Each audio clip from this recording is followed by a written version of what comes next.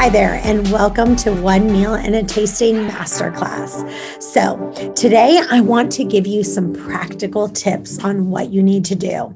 So, first things first is one of the most important things that you're going to learn is to make sure that you eat on a level one or a level zero. So, if you haven't picked up my book, Waist Away, I suggest that you do that because there's going to be lots of stuff in there that you need to know. But let me just do a quick recap. So, what is a hungry, hungry hippo? Hungry, hungry hippo is starving, ravenous, weak, grouchy. All you can think about is what to eat and how you can get it. You might get a headache, you might get hangry. That's a zero. A level one is that your stomach is growling. You know that you are completely on E. You can physically hear your stomach growling and feel an empty sensation. There are a few people who don't feel, they don't have their stomach growl, but they really are on E. But I would say the majority of them, 95% of the people, do hear their stomach growl when they're hungry. So try, try, try to make sure that your stomach is actually growling before you eat your first meal. Make sure that when you're at level one, that it's not just that your stomach is growling because it's digesting the food from before, right? It's an empty sensation. Be sure that it's growling because it's empty. Everything sounds good to eat at this point of hunger.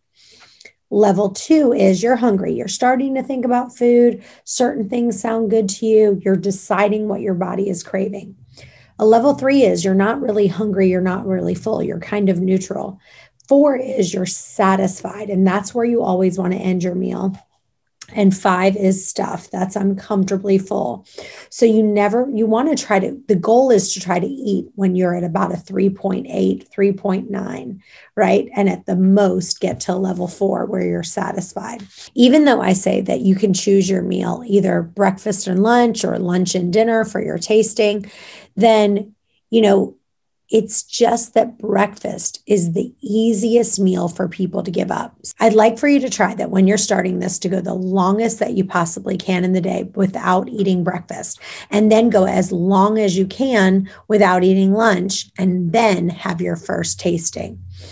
One of the most controversial things that I hear people talk about with intermittent fasting is coffee. So, coffee is going to help you. And I will tell you this when I interview people who are thin and that have been thin their whole life, almost all of them, I would say a good 70 to 80, maybe even 90% of them did have one or two cups in the, of coffee in the morning with a little bit of cream. And just a couple of them had a tiny bit of sugar or they had stevia or they had monk fruit. With that being said, do the absolute best that you can to see if you can have your coffee black or have it with the tiniest amount of cream and try to get off the sugar altogether.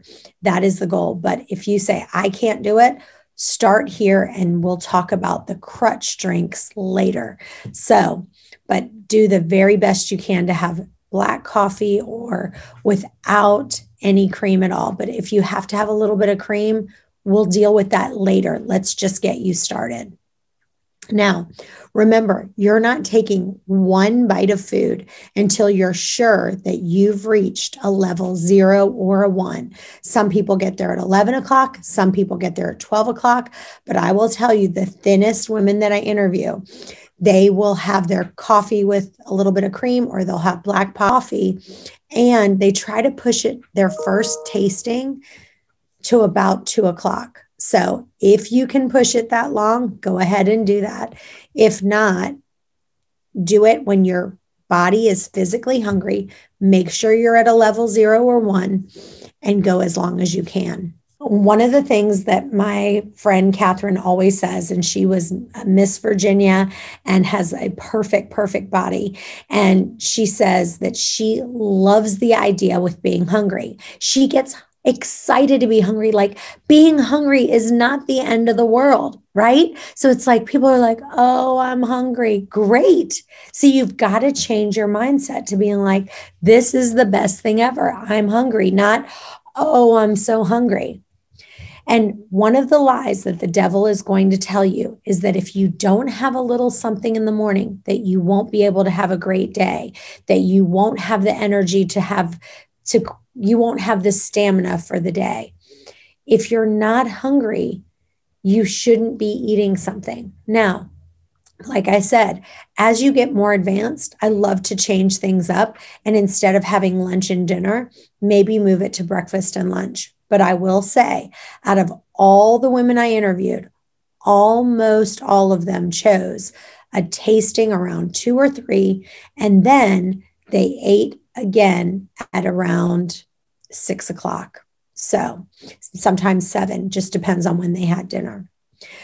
I had a friend of mine, her name's Kristen, and her husband kept nagging her about how important breakfast was.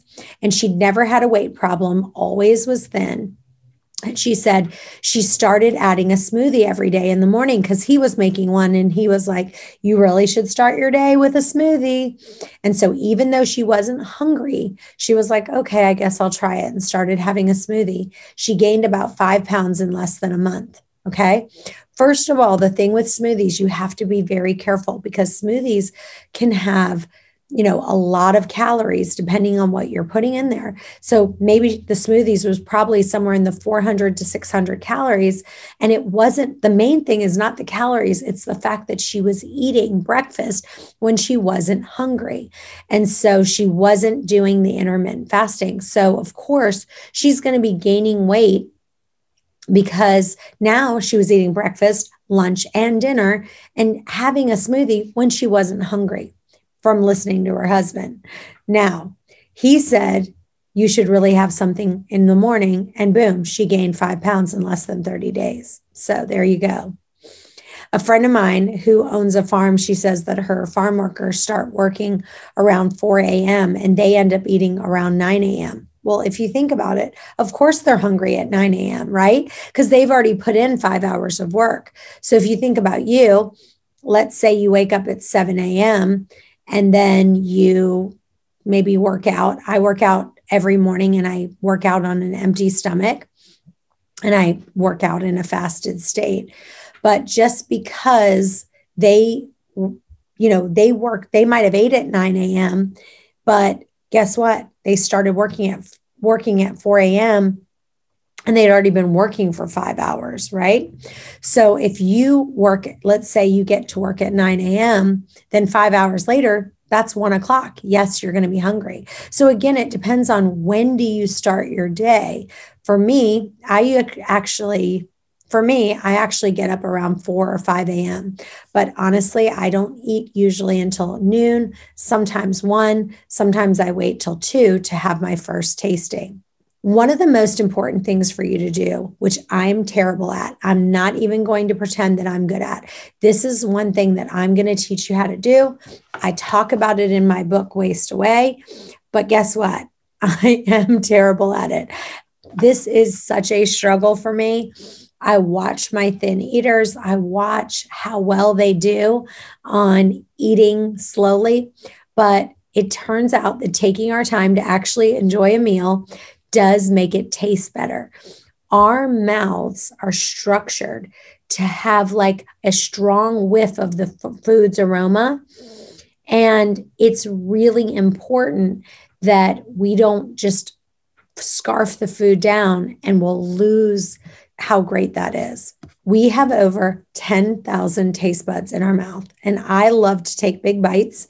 And I literally sometimes swallow without even tasting anything because I don't know what it is, but I've trained myself to do this. And so I literally have to untrain myself to do this. So now what I have to do is try to cut my food into small bites, chew for about 20 minutes, set a timer on my phone and try to take a full 25 minutes to eat. Now, this is one of the most painful things you're going to do, but it really, really helps. So, for me, one of the things that I do that makes it a lot better is I might eat, take a couple bites of food and then I push it away. I take a couple bites of food and then push it away. And then in between eating, I might take a five or 10 minute break flat in the middle, completely push it away. And then sometimes I might say, I'm full, I don't want anything else. And then sometimes I might say, you know what? I do want a couple more bites. So, one of my favorite foods is pistachios. So, I sometimes get the pistachios that are already shelled, and I would literally take a whole mini package, open it in half, and put the whole thing in my mouth. And before I knew it, I would take like, or I'd put it in my hand, take a bunch, put it in my hand, take a bunch. So now I do two things. I try to take, pist- I try to buy the pistachios that I have to open the shells myself. So I'll open up one, put it in my mouth. I hope I find a salty one. I take my time. I look for one that is easier to open. So it's like I'm really elongating this process. But if I buy the ones that are already shelled, again, I want to take one, put it in my mouth, slowly chew it, put it around your whole mouth, making sure you're experiencing the whole taste, the whole flavor. I have to remind myself all the time that there's no teeth in my stomach. I literally have to make sure that my food is it's almost like melted and mushy before I swallow. It's kind of weird, but it's true. So, how many people do you know that eat one pistachio, then put it down and get another one? Most people just grab them and take a ton at a time. But one of the things that I can do is get very out of control with nuts. Like I would eat a cup or two cups of nuts, which is way too many nuts and way too many calories, and you don't need that much. We've just gotten used to eating so much and so much of excess. So, there's two tricks I want you to make sure that you do for eating slowly. The number one is to set a timer. So, what I'll do, you can see, I'll just set my timer and I literally have to watch it. So I'll go, okay, I'll take a bite. I'm telling you, this is painful, but this is what I'll do. I'll take my timer, set it, and just watch it go down to teach myself that I have to take this long to eat. Back to my friend Catherine. This is what I realized. She eats because I timed her. this is the kind of stuff I do for fun. So, what she does is every time we've gone to a restaurant, she'll eat a couple bites. She talks, she takes a couple more bites. And after about the eight to 10 minute mark, she literally takes a break from the food and pushes it away. And it's so hysterical because what will happen is every time I go out to eat with her, the waiter will come by and say, Ma'am, are you finished eating? Because it looks like she is, because she's pushed it away from her. And she kind of sits back in her seat and she puts her fork down. And so she'll eat a couple more bites and then she'll push it away again. And the waiter will come back and be like, okay, I can take that. And she says, no, I'm not finished eating yet. And then, and it's not usually until the fourth time, until it's literally been about 25 minutes. It almost always takes her, sometimes it takes longer. I've been at, to dinner with her. She's always the last one to eat, and she always takes at least 25 minutes. And the reason why she says she does this is because it takes about 25 minutes for your body to register that you're full and that you're satiated. So the other piece is to look at being full is not the same as being satiated. This is so important. I always tell the story of my friend Allie, and it's in my book Waist Away, but I'm going to tell it to you now. We went to Uno's for a an event, and I never get pizza, but for that one time, I made the decision that I was going to get pizza. I got a little pan pizza, one of the small ones, and she decided to get a grilled chicken salad. So she got this grilled chicken salad. And because she, not because she really wanted pizza, but she thought, I'll get the healthier option. And so she ended up eating her entire salad. And as soon as I was done, I only ate half of my pizza.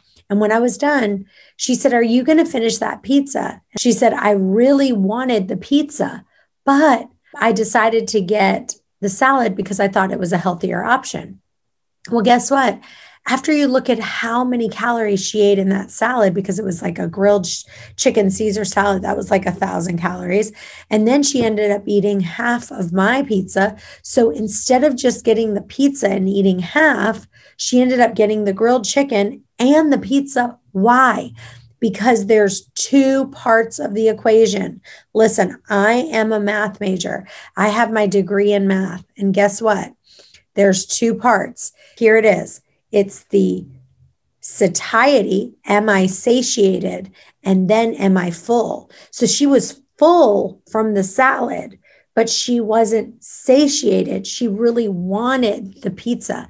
And you have to always make sure that you get something that you know that you're going to feel satisfied. Uh, I'll give you another example. Now, I do always try to pick the uh, healthier option if I want it. So, like if I decide to get pizza, I'll get a cauliflower crust pizza. For me, that's just as good. I feel like I'm eating pizza. If they have a vegan cheese, I'll get that. That makes me feel like I'm getting something. So if I want Mexican, I'm going to get Mexican. Now, I might pick a healthier option, but if I really want something, I'm going to get it and I'll have a few bites of it and then I'll be done with it. The other thing that is so important is that you don't drink t- during your meals. And I'm going to talk about this later, but you want to make sure you keep yourself really hydrated when you're not eating your meals. But during your meals, you do not want to do this. And I'll talk about this more later. Now, remember this people who have food issues, the devil is going to tell you lies over and over again. Some of the lies they're going to say is breakfast is the most important meal of the day. It will make sure that you have enough energy for the day. I've always heard that you should at least eat three meals a day. Or I really feel like I should clean my plate because there's starving kids in China. Or I should always save the best for last. I should eat my veggies first. I've heard that if you skip meals that you'll end up gaining more weight if you don't have enough food and your body will go into starvation mode. So, again, these are all lies. I need some sugar. That'll give me a quick boost of energy. This is, I want you to say this sentence to yourself. Even if you think it's super healthy or it's low calorie, if you're eating when you're not physically hungry, you will end up putting weight on.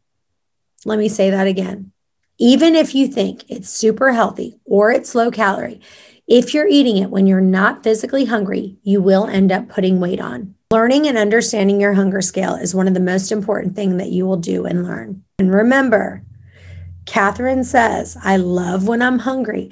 I love when I hear my stomach growl because when I hear my stomach growl, I know my body is eating its own fat. I want to give you one more example of the balance between eating healthy and getting what you want. How this is how I eat chips and guacamole at a Mexican restaurant. I love guacamole, but I have to be careful with it because I tend to eat too much of it. So, what I have to do with the guacamole, I always have people with me and I always get enough to share. But when we get it, I take maybe two or three spoonfuls of the guacamole. And then I always ask the waiter if they have cucumbers and they'll slice it up for me. They always do, they always have. And then I use the cucumbers and dip them with the guacamole. And then I might take two, maybe four chips and eat that with some salsa and guacamole. I love the cucumbers. I don't feel deprived having the cucumbers and the guacamole. I think that's great. They have a crunch. I love it. It's super healthy. I'd much rather putting that I would much rather be putting that in my body than the chips, but I might want a little bit more of a crunch, so I might eat a couple of chips. Okay, now I want to talk with you about being obsessed with food and dieting. One of the things that's really important is to make sure that I'm not constantly thinking about food, reading about food, shopping for food, preparing, and constantly thinking about food all the time. I have to ask myself what I really want. Like, what do I really, really want? It's like that song, you know, what do I want? What do I really, really want? I'm a terrible singer, so I won't sing for you. But I do this because I know if I'm going to crave something else and I don't get what I want, I'm going to end up eating more. So, my son is a perfect example of this. If he doesn't absolutely love something that we give him to eat, he just won't eat it. I've seen it over and over again with all of my thin friends, but this is so important. I can tell you another story with one of my friends that she got a grilled chicken salad that was really plain. And she said none of this and none of that because she wanted it to be super healthy. I got the chicken fajitas, which I love. And she really wanted the chicken fajitas, but she decided against it. I ended up eating about a third of the fajitas, and she ate her salad and the rest of my fajitas because she wasn't satisfied. So be careful. But you also do want to balance it. They all, thin eaters always balance whether they should get something or not. I'll give you an example. There's an Italian restaurant here called Aldo's, and they have a dish called shrimp gorgonzola. It is so good. But you can just get the shrimp as an appetizer and it doesn't have the pasta. So the pasta, the main dish has the shrimp plus the pasta, or you can order as an appetizer and you can just get the shrimp. And that's what I normally do. And guess what? That totally satisfies me. I don't need to, if probably if I would get the pasta, I would be satisfied as a probably a level nine or a 10 because I love that so much. But at the end of the day, I don't really, really need it. I was just as satisfied having that shrimp gorgonzola. I want to talk about hunger and fullness. You have to get in tune with your body and ask, How hungry am I? How full am I? This is the only way you're going to successfully lose weight with intermittent fasting.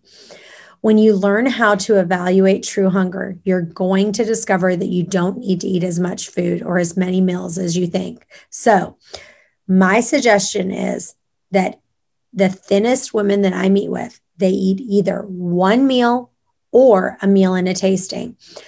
For the majority of the time, they have one meal and a tasting. The time where they only have one meal is usually when they go out to eat and they had a lot of food they got to a level four on the fullness scale, maybe even a 4.1, and that sustained them for the whole day. I want to give you a story of Edna and Nona. Edna had the egg, E for Edna. Nona had nothing for breakfast. So we had two sisters, and they decided that they were going to eat the exact same amount of food. They were going to eat the exact same thing.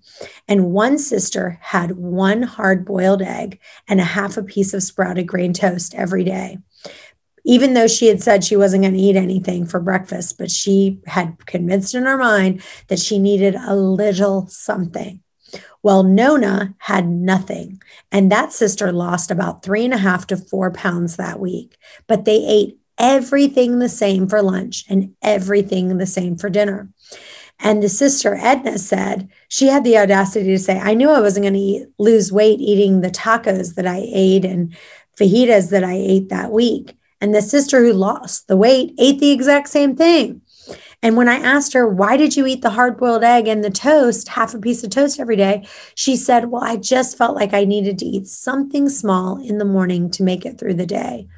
Her response was the boiled egg only had about 80 calories and the half a piece of bread only had 50 calories plus a little bit of butter. So it was between 150 and 200 calories. And she didn't think it was that big of a deal. Well, it was a big deal because her sister Nona had lost the full three and a half, four pounds.